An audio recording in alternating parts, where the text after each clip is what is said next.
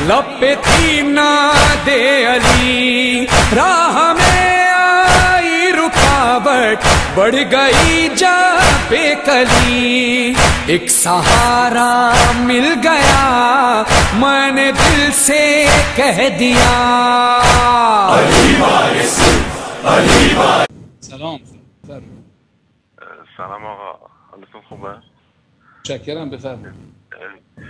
می‌خواستم بگم که من مطالبی رو که توی شبکه های اهل یادی اه، بود گوش دادم. مطالب شما هم گوش دادم. خب به نظر من خیلی خوب میشه که شما یه مناظره با ایشون داشته باشین مناظره نه ببینید اه، عزیز من چی بذاریم؟ متوجه چی بذاریم با ایشون؟ مناظره یه مناظره با خب مناظره قربونتون برم بعد تعادل علمی باشه. ایشون آیت الله العظما هستن. بنده طلبه کوچیک. چطور می‌تونن مناظره بذارن ایشون باید با مراجع تقلیدی مثلا مناظره بذارن که بهشون توهین می‌کنن. ما که سواد نداریم. ما در حد منبری. قربونتون برم. ممنونم از پیشنهادتون. به هر حال من به عنوان یک مخاطب خب دوست دارم حقایق روشن بشه. ایشون اصلا ببینید عزیز من ایشون نایب امام زمانن وکیل امام زمانن. من چطور با نایب امام زمان بخوام مناظره بذارم؟ می‌تونم به نظر شما من یه طلبه بی سواد کم سواد یا مثلا اصلا در حد منبری خوب مثلا بیام با یه کسی که مرجع تقلید آیت الله عظماست وکیل امام زمان نایب امام زمانه. مگه ندیدین خود ایشون گفت شما دیدین این فیلمو که ایشون من وکیل امام زمانم نایب امام زمانم ایشونو من برنامه ایشونو دیدم. این درسته این حرف ولی مقصود ایشون این نبود که ادعایی داشته باشه. ایشون گفتن حالا برای طرفداراشون که به هر حال به ایشون اعتماد دارن گفتن همچین خوابی دیدم.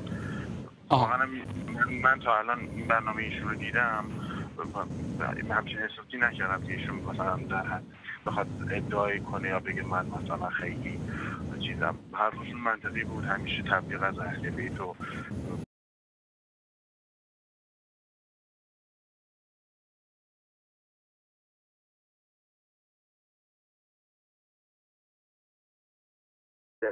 آقا من چهار تا حاجت از این شبکه گرفته بودم. یک حاجت هم جدیدن از این شبکه گرفتم.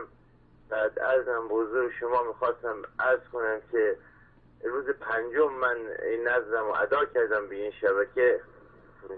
این سوالم بکنیم بعد می‌خواستم بگم که پسرم نزدیک 20 روز پیش تصادف کرده بود با بدون گواهینامه. گواهینامه نداشت زده بود. به یک خانومی یک خانوم بستری بود تو بیمارستان قایم. بله. از امدادی برده بودنش قایم بستری بود تو کما بود دوازده روز تو کما بود.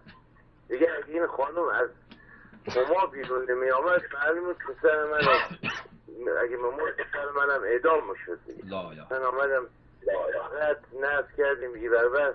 دیگه گفتم باز باید بریم در خانه شبکه اهل بیت. هیچ راهی نداره فایده نداره. دیگه آمدم نز کردم به شبکه اهل بیت و آجا یک اتفاقی افتاد. اصلا عجیب و غریب. من صبح رفتم بیمارستان از تو پاسکو یک نامه به من دادن گفتن اگر بتونی این خانم به دادگاه نرفته شما رضایت اینو بگیری.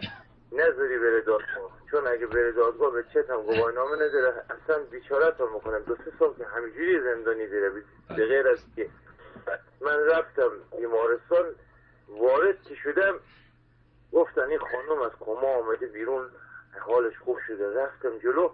هنوز من هیچی نگفتم دیدم خانم دست شده راست که گفت کاغذ بیار من امضا کنم. گفتم چی میگی آش گفت دیشب یک آقای آمده به خواب من آمد توی خواب به من گفته تو برد میگردونیم به شرطی که صبح اولین کسی که یک سیدی صبح میه. اولین سیدی یا یک آقای صبح میه سراغت. هم دیدیش یه کاغذ قلم دستشه. هیچی. هنوز سلام نکرده و کاغذ باید امضا کنی. قبول می‌کنی؟ خانومه گفته من قبول می‌کنم. منو برگردونی. ماشاءالله.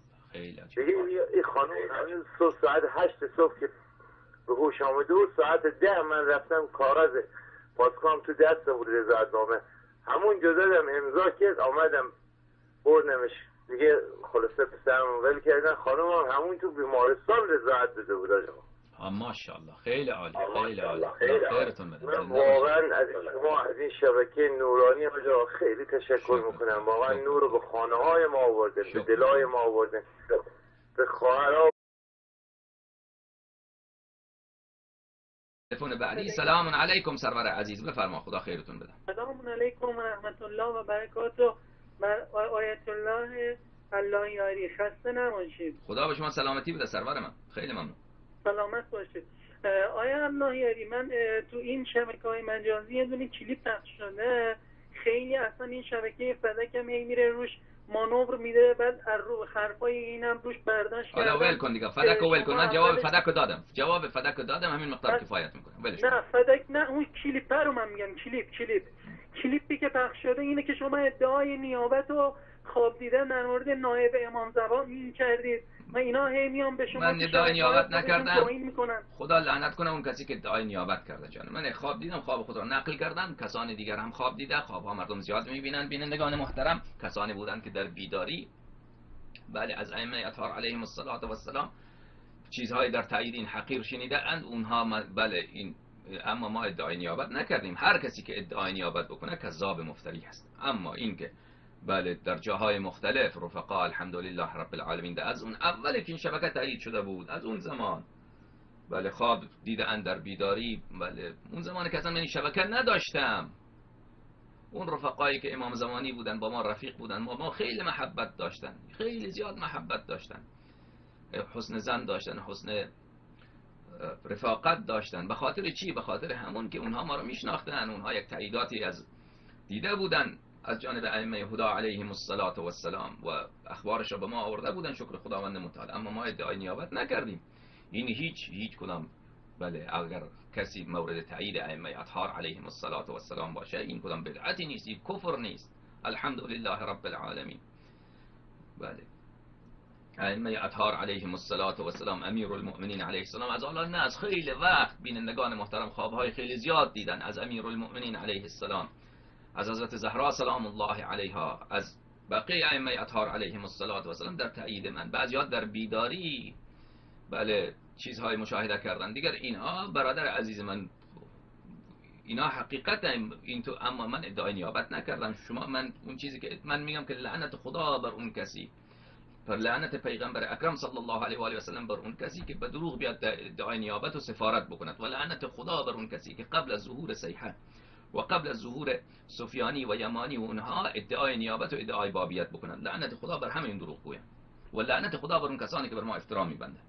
این شب بله دیگر حرف شبکه فدک را نزنید دوستان عزیز این جماعت اینا دستشان از دلیل خالیه اگر مردن ما یک کلام گفتیم. نه یاسر حبیب حاضر بشه با ما مناظره بکنه. تمام شد. از امام خود دفاع بکنه. از محمد شیرازی صادق شیرازی دفاع بکنه. این که